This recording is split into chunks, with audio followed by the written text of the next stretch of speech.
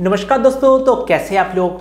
तो Helio G seventy पर है दुनिया का सबसे पहला स्मार्टफ़ोन है Realme C3 और ये वाला स्मार्टफ़ोन लॉन्च हुआ है सात हज़ार रुपए के आसपास। सात हज़ार रुपए के आसपास ऑफ़र में एक और स्मार्टफ़ोन है जिस, जिसका नाम है Realme 2 Pro जो मैं भी इस्तेमाल कर रहा हूँ। तो इस वीडियो में मैं आपको दिखाऊँगा, अगर आपके पास स्नैपड्रैगन 660 वाला कोई स्मार्टफ़ोन है, क्या आपको उसके बदले हीलियो G70 वाला स्मार्टफ़ोन लेना चाहिए या फिर नहीं? तो चलिए शुरू करते हैं आज का वीडियो बिना कोई बात कमाए और ये वीडियो शुरू करने से पहले, अगर वीडियो को पसंद आए तो वीडियो को एक लाइक दे देना, अगर वीडियो ना पसंद आए तो वीडियो एक डिसलाइक दे देना। तो चलिए शुरू करते हैं आज का वीडियो।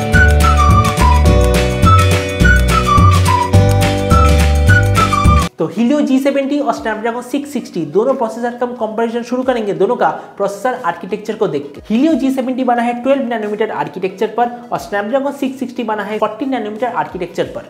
ये नैनोमीटर नंबर जितना कम होता है, वो प्रोसेसर उतने ज़्यादा पावर एफिशिएंट होता है। तो पावर एफिशिएंसी के मामले में हीलियो G70 बेटर होगा। हीलियो G70 लॉन्च हुआ है क्वार्टर वन 2020 पे और इसका जो मॉडल नेम वो भी है हीलियो G70 और स्नैपड्रैगन 660 लॉन्च हुआ था क्वार्टर टू 2017 में मतलब लगभग ढाई साल पहले और इसका मॉडल नंबर है एस डी एम अब हम देखते हैं दोनों प्रोसेसर का कोर कॉन्फ़िगरेशन हीलियो G70 में दो high performance cortex A75 core है, जिसका स्पीड है 2.0 गीगाहर्ट्ज और six low performance Cortex A55 core है, जिसका स्पीड है वन पॉइंट सेवन गीगा और स्नैपड्रैगन 660 में दो जनरेशन पुराना high performance cortex A73 core है, जिसका स्पीड है 2.2 गीगाहर्ट्ज और लोअर कोर में भी दो जनरेशन पुराना कोटेक्स A53 कोर है, जिसका स्पीड है 1.8 गीगाहर्ट्ज तो कोर कॉन्फ़िगरेशन के मामले में ऑब्वियसली हीलियो G70 बेटर है, क्योंकि इसमें बेटर जनरेशन कोर इस्तेमाल हुआ है। अब हम देखते हैं दोनों प्रोसेसर का मैक्सिमम डिस्प्ले सपोर्ट और video playback capability Helio G70 में मैक्सिमम फुल एच तक का डिस्प्ले का सपोर्ट है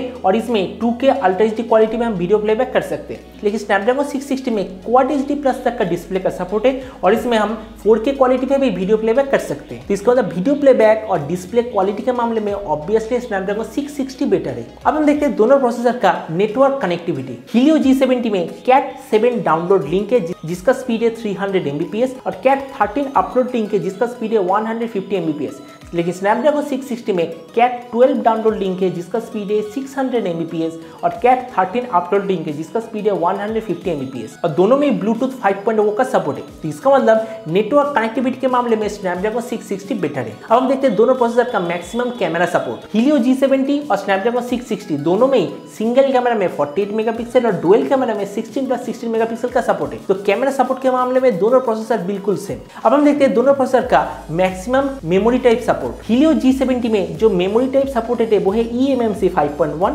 लेकिन स्नैपड्रैगन 660 में हमें eMMC 5.1 और UFS 2.1 दोनों ही सपोर्टेड है इसका मतलब मैक्सिमम मेमोरी टाइप सपोर्ट के मामले में स्नैपड्रैगन 660 ऑब्वियसली बेटर है। और अगर मैं दोनों प्रोसेसर के मैक्सिमम रैम टाइप सपोर्ट की बात करूँ तो इसमें आप देख सकते हैं जी सेवेंटी में dual channel L P D D R four X RAM का सपोर्ट है, जिसका स्पीड है 1800 मेगाहर्ट्ज और स्नैपड्रैगन 660 में भी हमें dual channel L P D D R four X RAM का सपोर्ट है, लेकिन उसमें जो स्पीड वो थोड़ा सा ज़्यादा, वो है 1866 मेगाहर्ट्ज तो इसका मतलब बेटर रैम स्पीड के मामले में स्नैपड्रैगन 660 बेटर है। तो दोनों प्रोसेसर के बीच में कंपैरिजन करने का सबसे आसान तरीका है AnTuTu benchmark score Geekbench score और जीपीयू स्कोर अब हम देखेंगे दोनों प्रोसेसर का AnTuTu बेंचमार्क स्कोर क्या है। हीलियो G70 का जो AnTuTu वर्जन 8 का स्कोर है वो है 1,91,000 जो कि आकर का Realme C3 का स्कोर है। और Snapdragon 660 का AnTuTu वर्जन 8 का स्कोर है 1,79,000 जो कि आकर का Redmi Note 7 का स्कोर है। तो देख सकते हैं AnTuTu स्कोर के मामले में हीलियो G70 बस थोड़ा सा आगे है।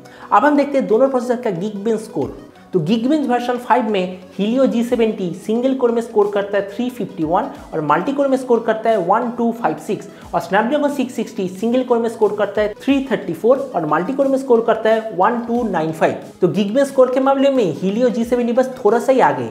अब हम देखते हैं दोनों प्रोसेसर का graphics card capability Helio G70 में जो ग्राफिक्स कार्ड है उसका नाम है माली G52 MC2 और स्नैपड्रैगन 660 में जो, जो ग्राफिक्स कार्ड है उसका नाम है एड्रीनो 512 हीलियो G70 में जो ग्राफिक्स कार्ड उसका स्कोर है 37000 और स्नैपड्रैगन 660 में जो ग्राफिक्स कार्ड का स्कोर वो है 35000 तो आप देख सकते हैं कि हीलियो G70 में जो ग्राफिक्स कार्ड वो भी बस थोड़ा सा ही आगे है स्नैपड्रैगन 660 से। और यहाँ पर मैं आपको एक और ग्राफिक्स कार्ड स्कोर दिखाना चाहता हूँ जिसे कहते हैं सेंचुरियन मार्क तो सेंचुरियन मार्क में हिलियो जी सेवेंटी ने स्कोर किया है 81.6 और स्नैपड्रैगन 660 ने स्कोर किया है 79.1 तो इस मामले में भी हिलियो जी सेवेंटी का जो ग्राफिक्स कार्ड वो बस थोड़ा सा ही आगे। तो आप बढ़िए इस वीडियो के कंक्लूजन की। आपने पूरे वीडियो में देख लिया। हीलियो G70 हर एक मामले में स्नैपड्रैगन 660 से ऑब्वियसली आगे है, लेकिन उतना भी ज़्यादा आगे नहीं कि अगर आपके पास स्नैपड्रैगन 660 वाला स्मार्टफ़ोन है तो अब उसके बदले हीलियो G70 वाला स्मार्टफ़ोन ले। इसलिए मैं कहना चाहूँगा स्नैपड्रैगन 660 और हीलियो G70 दोनों का ही जो परफॉर्मेंस वो लगभग सेम ही होगा, बस G70 थोड़ा सा आगे सीपीयू और जीपीयू के मामले में। तो आज का वीडियो तक, उम्मीद है एक कॉम्पिटिशन आपको पसंद आया होगा फ्यूचर में। आप ऐसे कौन कौन से कॉम्पिटिशन देखना चाहते हैं, मुझे नीचे कॉमेंट में बताना, मैं उसके ऊपर वीडियो ज़रूर बनाऊँगा। तो मिलते अगले वीडियो में, तब तक stay tuned always remember think positive, be positive. Thank you.